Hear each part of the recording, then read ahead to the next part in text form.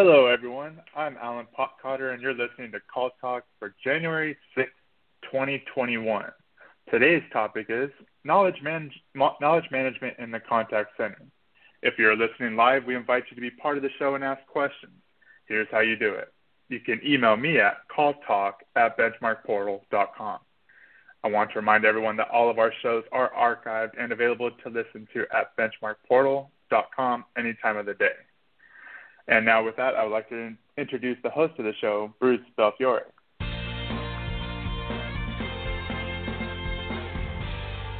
Thank you, Alan, and welcome back to Call Talk, everyone. Happy New Year. Now, as the complexity of customer interactions continues to increase, the ability of contact centers to manage knowledge becomes ever more important. Agents not only need accurate information, they need it quickly and in a format that is intuitive. An effective knowledge management system can reduce time to proficiency for new agents, lower handle times, improve first contact resolution, and drive customer satisfaction. Even agent satisfaction is impacted by how a center manages knowledge because agents' jobs become easier when information is readily accessible and intuitively organized. So, this is a really important area for contact centers. And that's why we wanted to talk more about leveraging knowledge management in the contact center environment.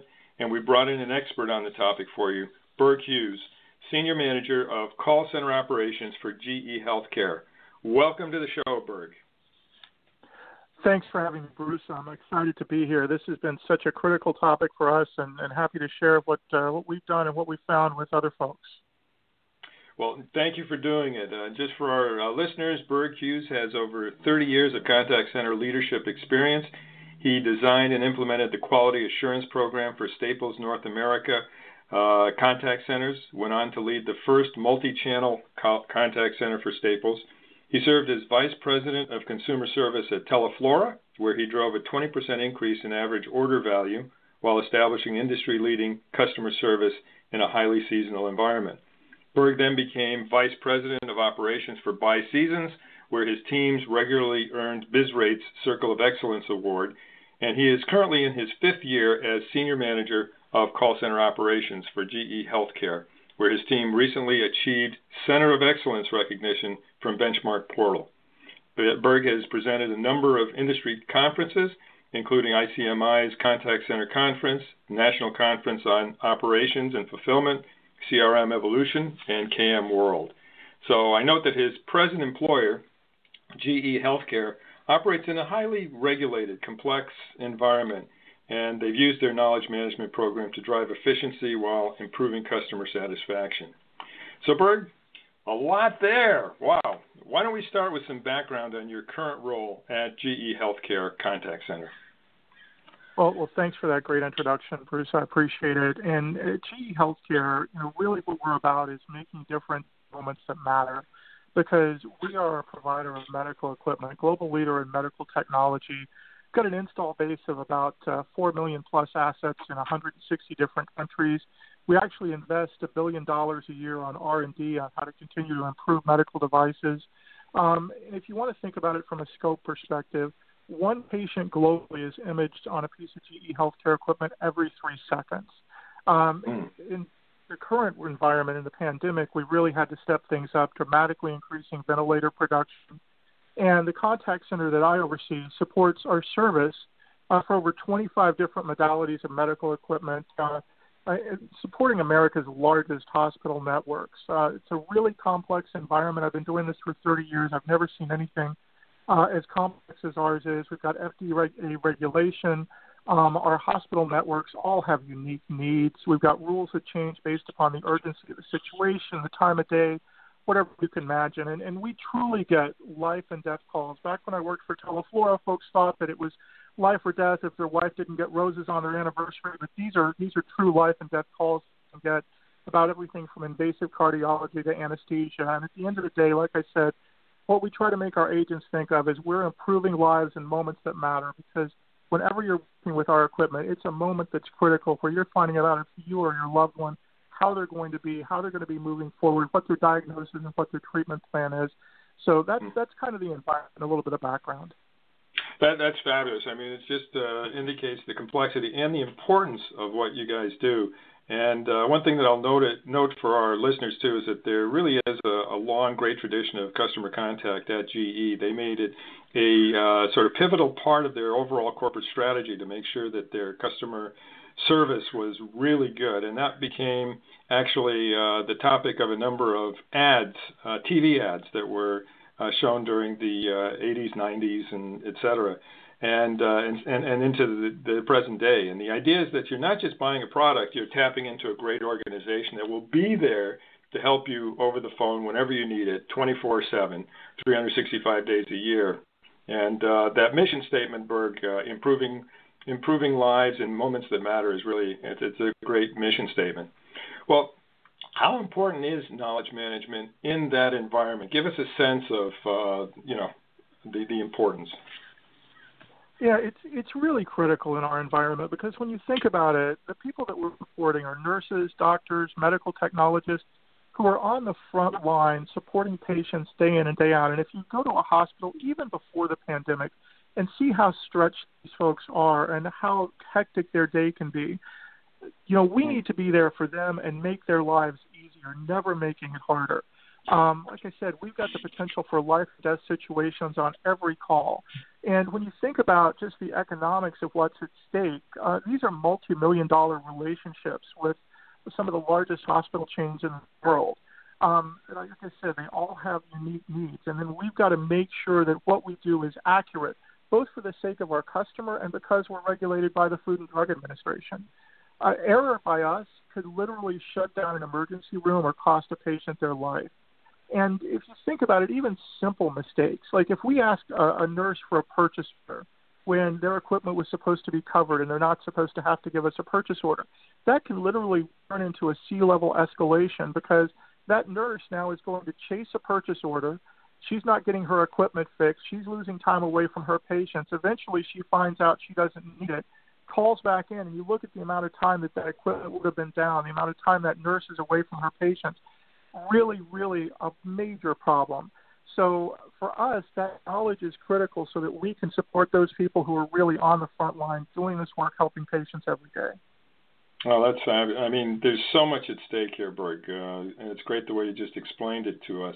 Well, what initiated uh, your re-examining your your knowledge management strategy? Um, you know, I think that a lot of people know there's a great tradition of internal audit at GE that goes way beyond accounting audits. I mean, they're real business audits. A friend of mine, in fact, uh, you know, worked for GE Audit, and they would. It was a real, a total business audit, and uh, so I imagine that that this kind of know-how in terms of just good management was brought to bear on your your knowledge management strategy. T- tell us about that. Yeah, I think I think what we found is that there's a difference between documentation and documentation that works when you're on the phone with a customer. GE's always been great at documenting. You know, like you said, we undergo business audits every year. We've got ISO certification. The issue really is how usable is that information when you're on a four-minute phone call. So when mm. I started with uh, with GE Healthcare, one of the things that I was asked to do immediately was to lead an RFP to look at our outsource options and did we want to look for somebody different. And the idea of that wasn't just to find somebody cheaper to take the phone calls. It was really looking for somebody who could us differentiate our customer experience and take our customer service to the next level. And we knew that, that where it was so critical for us was being able to have the right information, have it quickly, getting answers to our customers so that we could always be right and get them taken care of as efficiently as possible. So a big part of our BPO selection process was looking at not just a BPO to help us answer calls and emails, but also somebody who could help us take to, to the next level. And so we were looking for somebody who could help us improve our training and especially our knowledge management. Uh, the goal for us was really to go from good to great. Like you said, GE has a reputation for service. We felt like we were in a good spot, but we wanted to be able to take that customer experience to the next level um, and you know, for us, that was that was really the key that we were looking at. Hmm. Well, you know, I'd just like to underline for our listeners that, uh, you know, really, Burg wasn't just looking for something that worked, right? Which is unfortunately the situation that many of us are in when we're looking for uh, either outsources or technology or whatever. Uh, you were really looking for something transformative. You said, okay, we want to take our uh, service to a new level. And in my experience, when you do that, you always end up looking at knowledge and how it's shared in an organization and how it works. So when you started evaluating uh, knowledge management options, my next question is what were the most important factors that you sort of put on paper, circulated, and uh, focused on? Yeah, I think I think that's the critical thing. Whenever you're looking at this, you need to know what's going to be the most important for your business, and have that laid out ahead of time. So you go into these vendors and and you figure out who's going to be the right match for you. I think too often in contact centers, we wind up using the knowledge management technology that other parts of the business are using, and it's not right for us, and it doesn't work in our environment because the contact center environment is so different than many of the other things that are happening in any company, especially at GE. Um, so I think the first thing is we're 24/7, 365. We have to always be there for our customers. So we needed a high availability SaaS product that would put extra strain on our own IT team, something that was supported externally, but always going to be there when we needed it. And, and from that perspective, we also needed a company with a proven track record and something that would give our agents the ability to contribute to this because we wanted our agents to be able to move from consumers of knowledge to owners of knowledge. And we knew that was the only way we were going to make this thing live and breathe. But at the same time, we needed something that had great controls in place from an administrative standpoint so that we could have those folks participate. But at the same time, make sure that we're ultimately controlling the information that's out there and the way that it's organized. Um, at a minimum, you need a strong search capability. That's a fundamental just to get in the door. And intuitive for agents, easy for them to use, and for the administrators to use.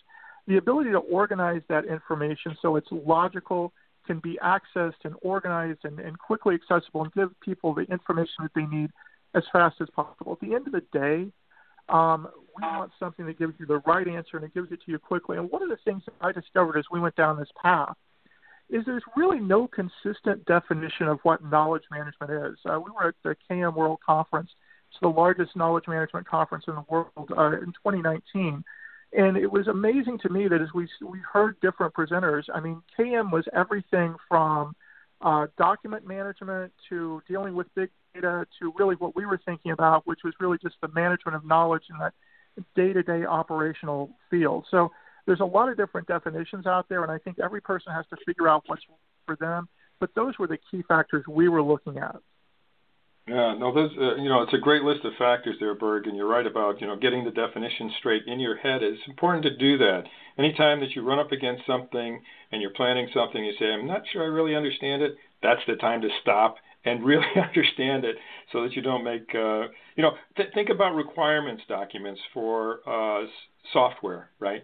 Uh, you have a checklist, you create a spreadsheet template to rank things in a structured way. Uh, those are all important things to do because they force you to uh, figure out what it is you're really trying to do and talk to your colleagues about it as well. Um, and you know the the involvement too of other people can go right down to the frontline uh, level. There was a center that uh, I visited, um, very large uh, outfit that's in the photocopier business. And uh, one of the things that if a question came in and they didn't have it in their knowledge management system, then the supervisors and the front end line agent that had to deal with it would work together in order to create what they called a white paper, which became then part of the knowledge management system. And at that point, virtually everybody in the center had a vested interest in the knowledge management system because they had been a partial creator of that system. So, uh, you know, these are all important factors that you're mentioning here. You also mentioned the complexity of your specific environment. Um, you know, if it's about finding the right answer quickly, how do you do that in such a complicated context? You know, I think the challenge with most knowledge management systems that we've seen is that they're really not managing knowledge the way I would think of it, with the contact center in mind. Um, what they tend to be is more of a document management uh, system. So you can it'll help you find the document that you need, but not necessarily the specific line within that document that applies to the situation you're in right at this moment. And that's really one of the biggest challenges I've seen. Our goal was to try and meet the agents where they lived uh, by flowing out the interactions that they have and then building the knowledge into that workflow. So we'd first figure out what workflow and then layer the knowledge organized within that workflow format so that it's it's the way that the agent thinks, it's logical to them, it's intuitive to them. So if you look at our job guides, you would see that they're actually really interactive. At every point where that workflow can fork and go in a different direction, the agent will select a radio button for their situation and continue down the path that applies to them. And it'll give them the specific knowledge or specific information that they need for that situation and that point in the workflow. The ability to organize that knowledge in that workflow, form, workflow format has been an absolute game changer for us, Bruce. Um, for example, we've got a group of agents in, in the Philippines who help support our business. And the CEO of GE Philippines went and sat down with those agents after they'd been there for about six, seven months, after not long after we'd opened up. And one of the questions he asked them was, is this job easier or harder than other contact centers you worked in? And to a person, every one of them said it was easier. Now, we've talked about our environment, how complex it is, the FDA regulation, all of the different things that can change. So the reality is, this job was actually a lot harder than jobs done before. But to those agents, it seemed easier because by using our Lighthouse knowledge management system that we had put in place, they were able to find the answers quickly, and there was never searching, hunting, or the most frustrating things for agents not knowing the answer, not knowing how to answer a question for a customer. So, so being able to organize things in that format where we really met the agents where they lived and thought about things in a way that was logical to them was so critical to us. Wow, what a testimonial! Oh, that's fabulous. Uh, it sounds like you're a big proponent of organizing knowledge in this kind of a workflow format. Um, let me just ask you: Is this something you had experience with before going to GE? You know, every every contact center is unique, right? We've all got our own challenges that we have to deal with. Uh, when I was VP of operations for Five Seasons before coming to GE, that was different. Uh, we were dealing with uh, costumes and birthday supplies and things like that, but it was a truly seasonal business uh, where we'd have to bring in hundreds of agents for Halloween. And initially, everything was organized in a, in a SharePoint knowledge system. And again, it was more document management. And the agents really struggled with it because it was hard for them to find the information that they needed at the point they needed it. The other thing that we found is most human beings, when they're presented with a problem, immediately jump to the solution. And call center agents are no different than that. When they hear the pro- customer's problem, they jump to the solution. They don't think about, is this customer in Canada or not? Is the item over or under $50? So, eh, what we did is basically we built out a workflow answer guide for them that took them through all the questions they should be asking the customer and arrived at the one right answer they would have. Now, it wasn't as as sophisticated as what we're using from Lighthouse now, um, but it got us through with those seasonal agents because you can imagine you start adding hundreds of seasonal agents in, all brand new, um, very very difficult for them. So we needed a way to organize things that was simple for them to use, and then in applying that same concept as we moved into a more complicated environment uh, at GE, it's it's worked extremely well in this more complex environment as well.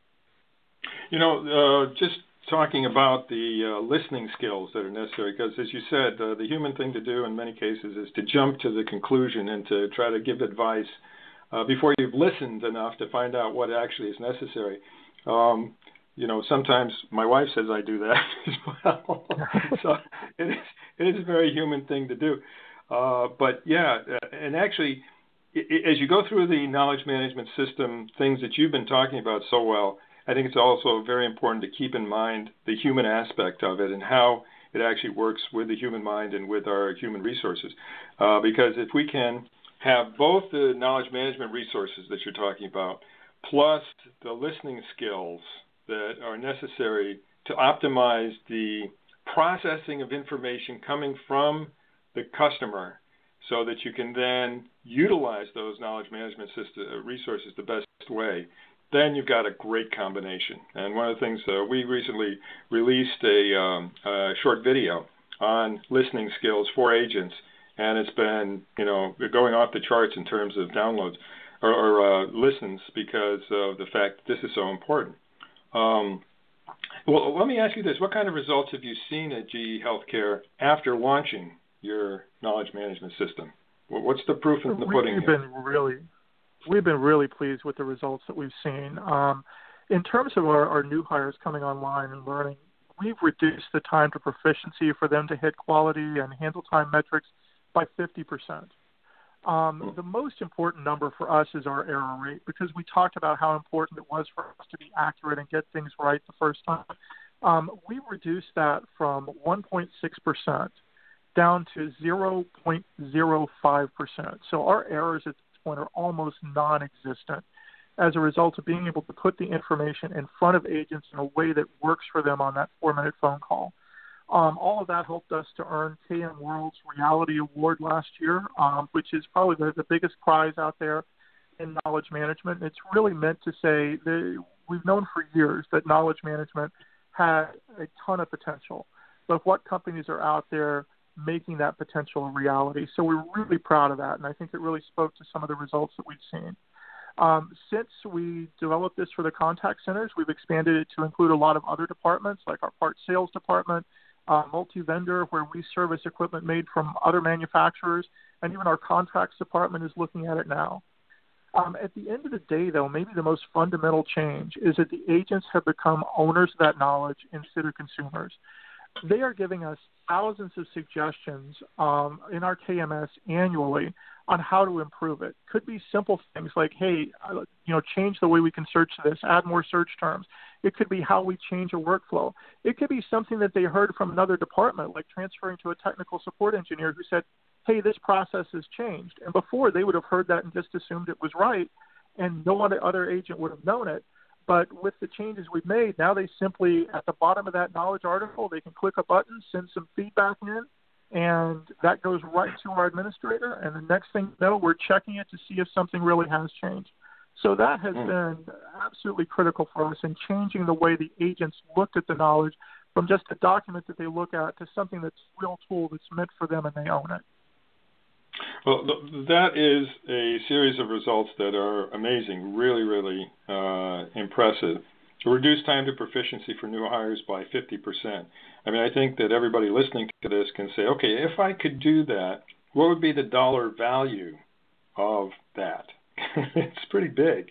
I'm sure you've probably figured it out, uh, Burg. Maybe you can't uh, share that with us, but uh, there is a huge dollar value that's there. Reducing error rate from 1.6% to 0.05%. Uh, there's going to be a dollar value to that as well, as well as obviously, um, you know, making sure that you're giving good information and that's important for uh, life and safety purposes.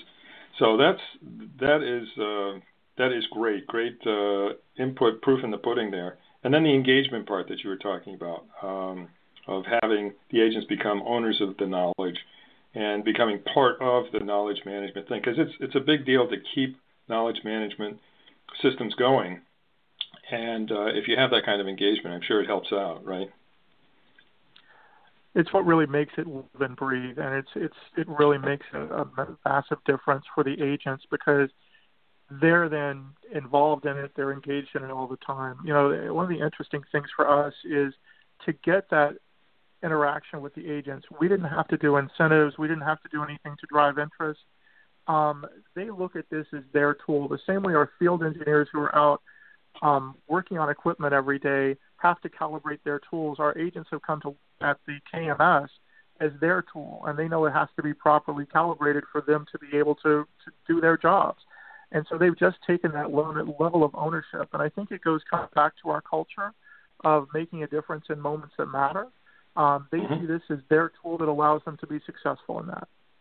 Well, a lot of pride and a lot of good uh, things that come out of that. Well, uh, Burg, recently GE Healthcare earned Benchmark Portal's designation as a certified center of excellence. Uh, congratulations on that, by the way. Did did your KMS play a role in that achievement? Do you feel?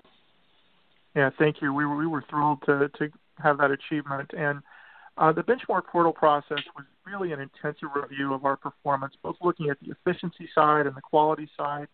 Um, and the KMS cuts across every aspect of that. Um, the accuracy, make sure that we're giving the right information, make sure that the quality is there. Um, handle times and costs are certainly affected by the agent's ability to get that right information quickly. And ultimately, even agent satisfaction is is affected by it because there's nothing more frustrating as an agent than having customers on the phone getting frustrated with you and you don't know what it is you're supposed to do. So we feel like the KMS cut across every piece of that and was central to our being able to have that benchmark portal certification achievement. Okay, well, well that's great to hear. Well, given the complexity of your business, also, was the knowledge management system implementation a really major undertaking?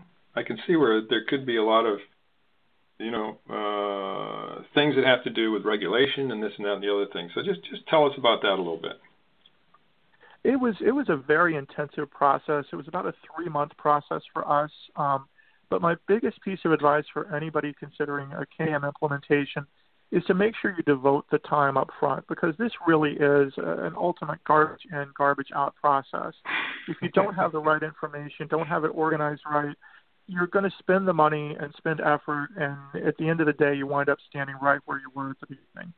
Um, we started by taking a look at all our procedures, reviewing everything, simplifying as much as possible, consolidating procedures across different lines of business where it made sense before we even began building out the KMS. So we really cleaned up all of our procedures that we had in place before. And then we had clean information, simplified information, better information to devote into that KMS.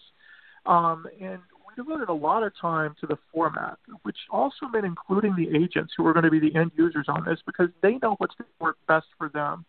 Um, and that also helped them to be engaged on this. And I think it's one reason we get so much feedback because the tool was built for them, designed by them, and that made a big difference. Um, we had multiple iterations of our early job guides until we made sure we got it right, and we had that work that I talked about earlier really down so that it was it was seamless.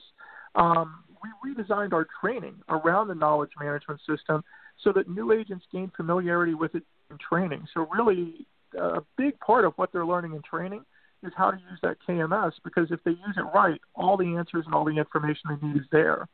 Um, the other thing we did is is we took and we built a, a knowledge manager, a person who's an expert on this and owns our knowledge in the KMS, and they're the administrator of it going forward. So that also has made things great because it's one of those things where if knowledge is everybody's job, at the end of the day, it's nobody's job. So having that expert in place has really helped as well. So it was it was a big right. undertaking, but worth the time. Yeah, yeah. So really, the uh, the process has to include a lot of people, but at the end of the day, there needs to be somebody who's actually accountable for it, and who makes the, has to pull everything together. And that person needs to be somebody who's really good at reaching out across uh, uh, silos and reaching across uh, various things, and has the obviously the backing of the senior people, so that he or she can uh, really do a good job on that. Um, well, this is great. Burg, any final advice you would have for those considering implementing or changing their knowledge management system? You know, I, I think the KMS uh, for needs for contact centers are different from other parts of the organization. So don't feel like you're forced into a tool that other parts of the organization are using. Find something that works right for the contact center, that gets you the right answer, gets it quickly, and can be intuitively organized. Um, and then once you have that, invest the time in implementing upfront and then integrate it into everything you do in your organization. For example, we house all of our newsletters, our quizzes, our training materials. All of that is in our knowledge management system. It's the center for everything that we do. That is great. That is great. Well, these are fabulous insights, and I noticed that Alan has a couple of questions for you. Uh, Alan? Yes, we have two here. Uh, one is from Jenny, and the first question is Is your knowledge management system integrated with your CRM system, or is it separate that agents must navigate to? Yeah, I think that's a great question, Jenny. Thanks for asking it. For us, it made more sense to have a standalone knowledge management system because our agents are navigating through multiple systems already due to some of the different lines of business that we have. So rather than integrating it into multiple systems, it made sense to have it standalone. I think the other thing that I like about it is by it being standalone, our operations team has control of it and can make updates more quickly without being beholden to coordinating to any kind of an IT schedule. And we really prefer that flexibility. In other environments, it might make more sense to have it integrated, but for us, having it standalone works much better. Very good. Okay, I don't have anything to add to that, so why don't you go on to the next one now, and also because we're coming up against the uh, the end of our half hour here. So, yeah. Yes, the second one is from Carlos, and he's asking if you had to do the implementation over again, is there anything that you would do differently? No, that's a great question. Yeah. I think we can always find things we do differently. I'd love to have a project one of these days where I couldn't look back on it and say that, but I think with all of them you can. Um, I think for me, the biggest thing is to always listen to the end users.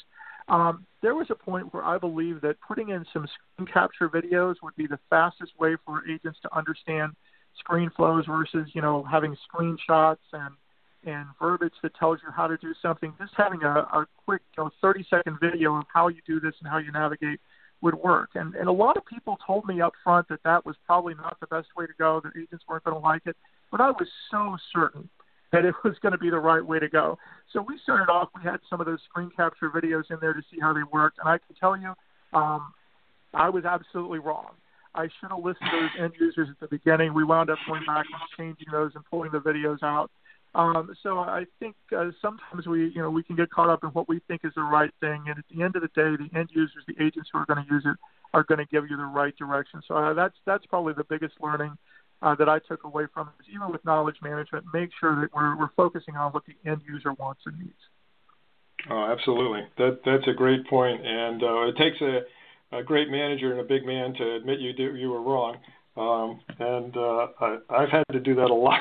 so anyway, but uh, on, on the other hand, you know, you have sometimes you have these gut feels, and and you need to check them out. You need to see whether they work or not, because it could be that it's uh, a breakthrough that other people just don't recognize at the at the time. So well, this has been great. Uh, Burg, such great insights, a lot of uh, juicy material for our listeners here. We really appreciate that. Uh, is there any final thing that you'd like to add before we toss things back over to Alan to wrap up? Yeah, I think the only thing is just I appreciate the the time and the opportunity to talk about this today. It's been so critical to our business, and you know my advice for everybody, and, and I've been stuck in this before, where you have to use knowledge management that's designed for a different part of the company or a different business, make sure you find a tool that works for your contact center. That is, the end of the day, going to improve the lives of your agents and ultimately your customers downstream from them more than almost anything else you could do. Okay, you heard it here from Burg uh, Hughes. So thank you so much, Burg. Uh, this has been a great session, and with that, I will turn things over to Alan. Yes, thanks again to you both for your insights on, and another great show. We hope you can join us next month for another great show or look at our huge selections of archive shows on Hot Topics at benchmarkportal.com. Then click on Call Talk where you'll find over 11 seasons. From all of us at Benchmark Portal, keep those headsets steady and your fingers ready. Stay safe and stay healthy. This is Alan Potcotter signing out.